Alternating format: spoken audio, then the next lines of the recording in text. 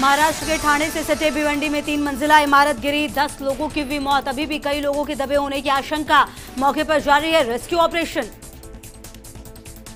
मोदी के छह मंत्रियों की प्रेस कॉन्फ्रेंस। आज कृषि बिल के विरोध में हंगामे पर बोले राजनाथ। राज्यसभा में जो हुआ, वो राजनीतिक स्वार्थ साधने की कोशिश एमएसपी खत्म नहीं होगी, किया वादा। किसान विरोधी कानूनों के खिलाफ कांग्रेस का आज प्रदर्शन। धारा 144 वाले जिलों में नेता आज देंगे ज्ञापन। जिला कलेक्टर को राज्यपाल के नाम देंगे ज्ञापन। पीसीसी चीफ गोविंद सिंह डोटास्ट्रा ने कहा, सुबह साढ़े ग्यारह बजे ज़िले के नेताओं के साथ जयपुर कलेक्टर को दूँगा ज्ञापन। राजस्थान की दो मंडियों में आज व्यापारी अपना व्यापार बंद रख केंद्र सरकार के कृषि बिल का विरोध कर रहे हैं। वहीं प्रदेश के किसानों ने भी अपनी कृषि उपज को मंडियों में बिक्री के लिए नहीं लाने का फैसला किया है। पूर्वी लद्दाख में चीन सीमा पर भारतीय सेना ने पिछले 20 दिन में बड़ी कामयाबी हासिल की। भारतीय सेना ने चीन की सीमा पर छह नई पहाड़ियों पर कब्जा कर लिया है। सूत्रों के मुताबिक ये पहाड़ियाँ दक्षिण से उत्तरी किनारे तक फैली हुई हैं। इस कामयाबी ने फ़िलहाल भारत को चीन पर बढ़त दिला दी है। भारतीय पक्ष द्वारा कब्जा की गई चोटियाँ भारतीय क्षेत्र में एलएसी पर हैं। एलएसी पर भारतीय सेना का और बड़ा दबदबा। पाँच राफेल विमानों ने एलएसी पर संभाला मोर्चा। पूर्वी लद्दाख के आसमान में भरी उड़ान। उधर तनाव कम करने को लेकर चुशूल में भारत, चीन के सैन्य कमांडर स्तर की बैठक। दुनिया भर में कोरोना का कहर। पिछले 24 घंटे में दो दशमलव चार तीन लाख नए मामले आए। सामने तीन हज़ार आठ सौ नब्बे लोगों की गई जान। अब तक तीन दशमलव एक दो करोड़ कोरोना संक्रमित। मृत्यु दर गिरकर तीन दशमलव शून्य नौ फ़ीसदी हुई। प्रदेश में कोरोना से रविवार को 14 लोगों की हुई मौत, अठारह सौ पैंसठ में पॉजिटिव केस आए सामने। अब तक कुल तेरह सौ छत्तीस मरीजों की मौत, पॉजिटिव मरीजों की संख्या एक लाख चौदह हज़ार के पार। करीब छह महीने बाद आज प्रदेश भर के सरकारी और निजी स्कूल खुल रहे हैं। हालाँकि स्कूलों का खुलना सिर्फ़ गाइडलाइंस तक ही सीमित रहेगा। नौवीं और बारहवीं तक के विद्यार्थियों को गाइडेंस के लिए स्कूल जाने की छूट। उत्तर प्रदेश में आज से स्कूल कॉलेज नहीं खोले जाएँगे। राज्य सरकार के मुताबिक फ़िलहाल प्रदेश में ऐसे हालात नहीं कि स्कूल और कॉलेज खोलने की अनुमति दी जाए। श्रीगंगानगर के उद्योगपति बीडी अग्रवाल का कोरोना से निधन, कोविड संक्रमण से ग्रस्त बीडी अग्रवाल का गुड़गांव में इलाज चल रहा था।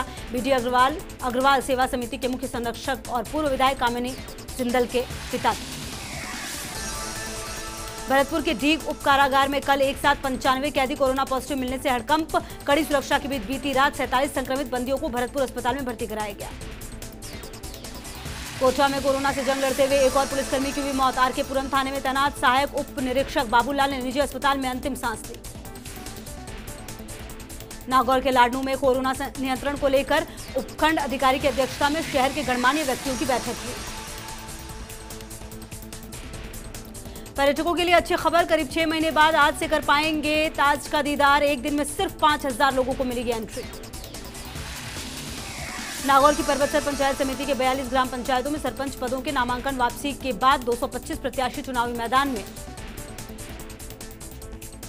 कोरोना के चलते जयपुर, जोधपुर और कोटा में दो दो नगर निगम के गठन के बाद से लगातार चुनाव चले हैं। इन छह नगर निगम के चुनाव स्थगित करवाने के लिए राज्य सरकार ने एक बार फिर हाईकोर्ट में प्रार्थना पत्र दायर किया है, जिसमें इकतीस मार्च दो हज़ार इक्कीस तक चुनाव करवाने की अनुमति मांगी गई है।